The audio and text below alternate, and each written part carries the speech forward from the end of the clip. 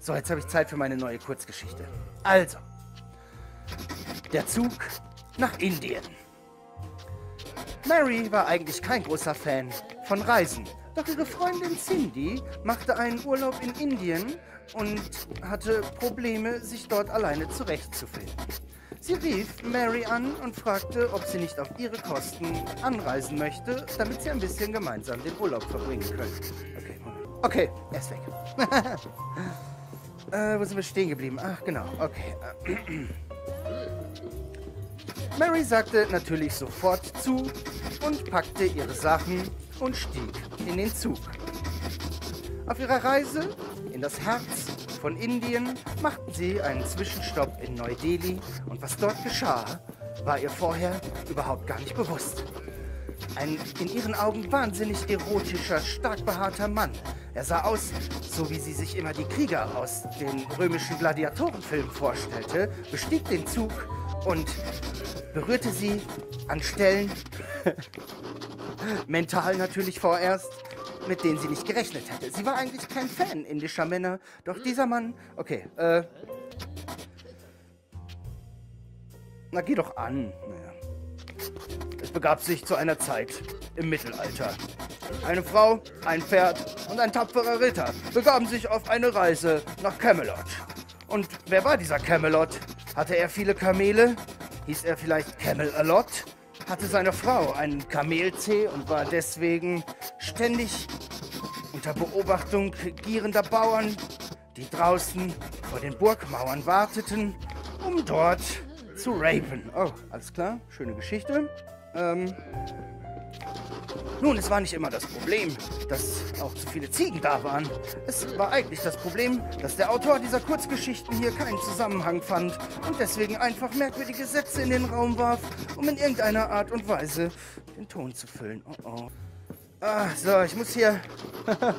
Kreis machte in seiner Zelle merkwürdige Masturbationsbewegungen. Roland, das Pferd, oder auch Harry Hengst als Künstlername genannt, war sehr erfahren und rat Mary dazu, eine gewisse Tube an speziell angerührtem Gleitgel zu benutzen.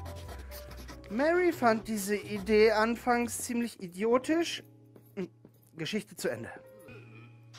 Okay, also. Der Hobbit und sein kleiner Bilbo.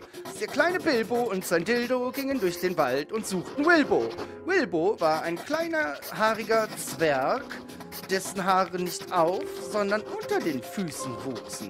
Außerdem hatte er einen extrem ausgeprägten Fabel für haarige Rücken. Steve und die Wunderlampe. Es war ein kleiner Prinz namens Steve und Steve ging gerne in der Wüste spazieren. Sein Vater war ein arabischer äh, Priester mit der Konvention äh, neoapostolisch-katholisch Nazi-Kommunismus. Das war seine Bestimmung und genau deswegen hatte er Probleme damit, seine Füße zu sehen. Äh, das Auto der Liebe. Mary fuhr auf der Autobahn und war total fasziniert davon, wie viele attraktive junge Männer in Sportwagen in Baustellen viel zu schnell fuhren und damit ihren Wut, äh, ihren Wagemut und ihre Intelligenz bewiesen. In ihren Augen waren das alles sehr schlaue Menschen. Da kommt Jack. Jack kommt. Jacques, die blöde Wache. Jacques war eine ziemliche Arschlochwache in einem ziemlichen Arschlochgefängnis mit ziemlichen Arschlochgefangenen. Doch Jacques hatte ein Problem. Er war süchtig nach Sexgeschichten, die die Knastis ihrer Fantasie entspringend selbst in ihren Zellen produzierten. Er wusste nicht. Oh, warte, Moment, bevor ich weiterschreibe. Hey, shit, ich hab was. Ja. Er wusste nicht, ob diese Geschichten der Gefangenen aus ihrer Fantasie oder aus ihrem echten Leben mit ihren echten Verbrechen entstanden, doch jedes Mal bekam er beim Lesen eine harte Latte. Außerdem fand er Männer mit haarigen Rücken sehr attraktiv. So. So, Mary und der Bus. Mary wartete an der Bushaltestelle wie jeden Tag, um zur Arbeit zu fahren. Sie traf jeden Morgen die ein und dieselbe Freundin, die ihr Geschichten erzählte, wie toll ihr Wochenende war und wie sie gefeiert hat und wie sie das ganze, die ganze Woche auf dem Bauch geschlafen hat, weil sie das ganze Wochenende die Decke gesehen hat, da ihre Füße sowieso nur in der Luft hingen und sie auf dem Rücken lag. So, ähm. So. Also, das Krokodil und sein Nilpferd. Ja, die Vorlage von Bud Spencer und Ter Okay. also, der Priester und der Rennfahrer. Es war einmal ein Rennfahrer. Dieser Rennfahrer hatte einen sehr schweren bis mittelschweren Unfall und eine schwere bis mittelschwere Verletzung. Und, oh, und ziemlich viele Haare auf dem Rücken laut dieser Geschichte. Okay, neue Geschichte. Äh, der Elefant und der Zoowärter. Es begab sich im Jahr 1934. Da äh, war ein Zoowärter und sein bester Freund, der Elefant, eingeschlossen gemeinsam in ein... Okay, das war's. Ah, Leute, zum Glück muss ich die Dinger nie zu Ende schreiben. ah. Der chinesische Suppenverkäufer. Es war einmal ein kleiner chinesischer Suppenverkäufer, der immer eine Latte bekam, wenn jemand eine Suppe für genau 7,72 Dollar kaufte. Und wenn das so war, konnte er sich selbst nicht erklären. Er hatte schon in jungen Jahren ein Fable für genau diese Zahl. Also, ah, der Vater, der gern furzte. Er war ein Mann, der furzte gern und drückte seine Frau danach unter die Bettdecke im Schlaf natürlich und lachte sich darüber kaputt. Zum Glück werden die Geschichten schneller fertig, weil irgendwann, Freunde, fällt auch dem verrückten Geiste des Kreises nicht mehr so viel ein. ah. Ihre erwartungsvolle Haltung verriet ihm, dass sie bereit war, seinen Hammer in voller Liebe und Leidenschaft zu empfangen. Die Liebe stand dabei nur an zweiter Stelle. Es waren Triebe, die befriedigt werden mussten, so. Würde jetzt ein Gesetz erlassen, was verbietet, Jeanshosen zu tragen, könntest du, weiß ich nicht, gehst halt nachmittags durch die Stadt, sagst, hey, Jeanshosen sind verboten, du kommst jetzt in den Knast, so, könntest alle einsperren, unterdrücken, weil du einfach sagst, es ist verboten. Wenn einer fragt, warum, ja, keine Ahnung, ist halt so. Und das war's. Die Geschichte von der verbotenen Jeanshose.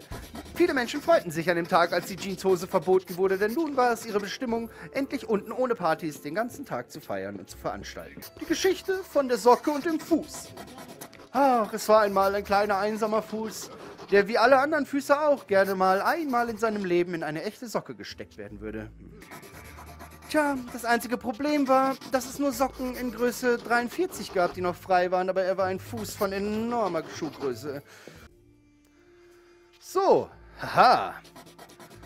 Äh, Ruben und sein Dickelig. Ruben hatte einen sehr geschwollenen und stark verletzten Dickelig. Äh, das einzige Anzeichen für. Oh, okay. Ähm, äh, Barbara und ihr Schambehaar. Barbara hatte Schamhaar in der Länge von 26 cm, welches selbst für das Guinness-Buch der Rekorde ultimativ widerlich und. Na, okay. Doch ein Schlüpfer hatte ein Problem.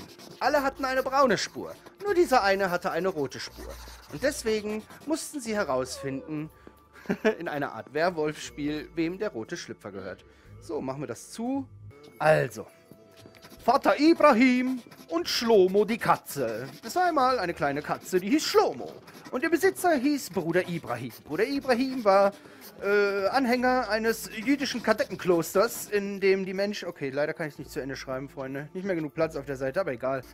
Der Pfarrer und das Pflegepferd. Es war einmal ein kleines Pferd namens Jimbo Langschwanz Johnson. So, kurze Haare, aber Pferdeschwanz war sein Motto. Oh, ähm, der Druck der Gesellschaft. Ein kleiner Junge namens Tim Tom Timidity hatte sehr großen Druck aus der Gesellschaft und auch sehr großen Druck im Darm. Das eine führte immer wieder zum anderen und aufgrund des Drucks, naja gut, okay, Darmgeschichten sind jetzt nicht die besten, aber verkaufen sich im Knast recht gut. Das ist Kreiszelle. Und mehr sage ich dazu nicht. So, die Zelle des Kreisels. Umgeben von einer Schlucht, der es gleich war wie ein Wassergraben um eine Ritterburg befand sich ein König, dessen Hoden gold gefärbt und dessen Würstchen... Okay, keine Geschichten mehr über das Würstchen. Keine Geschichten über Würstchen. Donnerstag, der 26.04.1034. Vater Abraham kam heute rein und verbot die offizielle Werbung für Würstchen. Egal ob im Ziegendarm, Rinderdarm, Schweinedarm, dicker Darm, dünner Darm, donnernder Darm. Okay, fertig, mir ist gerade nichts mehr eingefallen. Ach ja. Ah. Der spitze Springreiter. Oder auch die Geschichte des vollbusigen Bernhards. Der vollbusige Bernhard war kein glücklicher Junge. Er wuchs auf in einem Trailerpark in den Anden von Nepal. Denn dort sind sie bekannt. Schreibt die Geschichte fertig. Den Stift mal neu greifen. So. Ähm, ja. Der Hund und sein kleines Leckerli. Ein kleiner Hund wollte kein Trockenfutter mehr und begab sich auf die große Reise über den Bauernhof, um dort ein fleischiges Stück Fleisch zu finden. Okay, das war's schon. So, rein damit. Alles klar. Karl-Heinz Rumgefummel. Sein Name war Karl-Heinz und er fummelte gern. Er war 24 Jahre im Gefängnis verurteilt, denn er hatte die Blaubeeren seiner Großmutter gestohlen und sich vorhin in die Strullerscharte geschoben. Und, naja, okay. Schöne Geschichte. Ich hoffe, die passt da noch rein. So. Ah, Bobby und seine ungewaschene Woche. Bobby mochte es nicht so sehr, wenn man ihn häufig wusch, doch manchmal war er ganz wuschig und sagte, hey, kannst du mir nicht meinen haarigen Rücken mit Sonnencreme einbalsamieren? Und ich sagte, ja, natürlich. Ach ja, und er schrieb die Geschichte, während er wartete, auf die Knechtschaft der Knechtschaften. Die Lampe, sie kam noch nicht um die Ecke, denn die Lampe steckte in einem rektumsähnlichen Zustand fest. Was ist da drin? Äh, Blasfla Blastra. Blasafla Blasafla Trafla Blataprabra Brasabla Blasfra. So redet unser Freund Hashtag morgens immer. So, guck mal, kann ich es direkt in die Box tun? So, ich male einen Schniedel. Ich male einen Schniedel. Ich, es war die Geschichte vom kleinen Schimpansen Pimboli, der mit seinem kleinen Knuffelschwanz einfach nirgendwo ernst genommen wurde. Das hätte ich vorher vielleicht auch mal. Äh, Wilson und die Nacht, in der er Ziegenkäse aß. Wilson aß sehr gerne seinen Käse, vor allen Dingen, wenn er aus der Ziege kam. Aber wie kam der Käse aus der Ziege raus? Das ist eine Frage, die wir in dieser Geschichte nicht klären können. Das ist die Geschichte, in der wir klären, wie man Ziege aus einer Käse bekommt. Äh, wie man Käse aus einer Ziege bekommt. Äh, ähm, man muss natürlich die Ziege erstmal extrem schütteln. Auf eine Rüttelplatte. Okay, das reicht jetzt aber dann auch, ne? Als Anleitung. Den Rest könnt ihr euch selber vorstellen. So, ich mal große Kreise. Ich mal große Kreise. Guck mal. Mama, ich mal große Kreise. Ja, das machst du gut. Guck mal. Guck mal, ich habe eine Schnecke gemalt. Da ist eine Schnecke. Dieser wunderschöne Nippel. Der Elefant ohne Rüssel befand sich in der Steppe und lief mit ein paar Gnus. Okay, so. Geschichten aus dem Paulanerschrank. So einmal in einem kleinen Schrank eine einsame kleine Socke, die sonst nur als Onanierhilfe genutzt wurde, doch heute war ihr Auftrag ein größerer. Endlich wollte ein Mensch sie mal über ihren Fuß stülpen. Sie war sehr glücklich, sie war sehr glücklich. Doch dann war die Geschichte vorbei.